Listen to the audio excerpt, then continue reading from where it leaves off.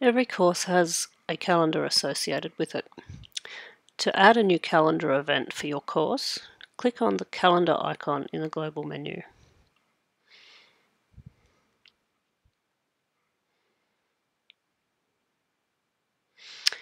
Depending on how many courses you have access to, it may take a little while for the calendar to open.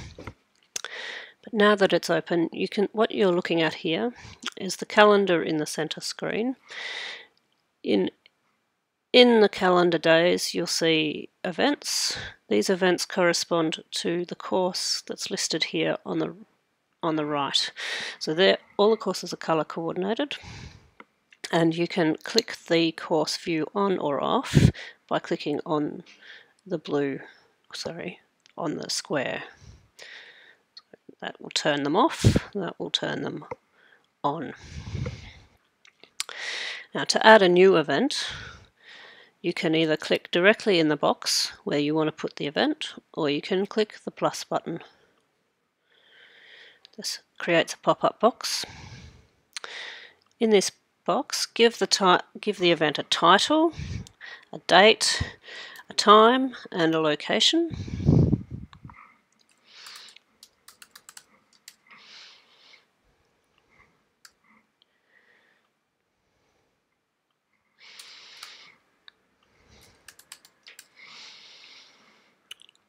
And in the, drop, the calendar drop-down box, select the appropriate calendar that this belongs to. You may not have to worry about this, you may have only one in that box, but if you have more than one access to more than one course, then you will have to select which course it belongs to.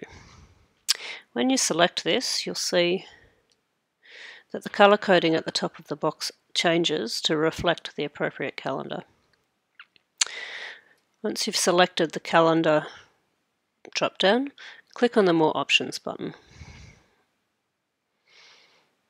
This takes you into the appropriate course and gives you a new calendar event. From here we can add extra information about the event in the text editor.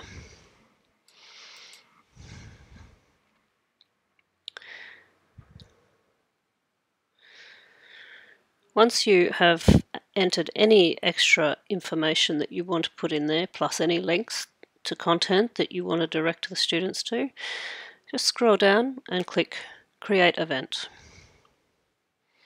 You'll get a pop-up that says that the event has been saved. And the system will send you back to the calendar where it will show you where your new event is.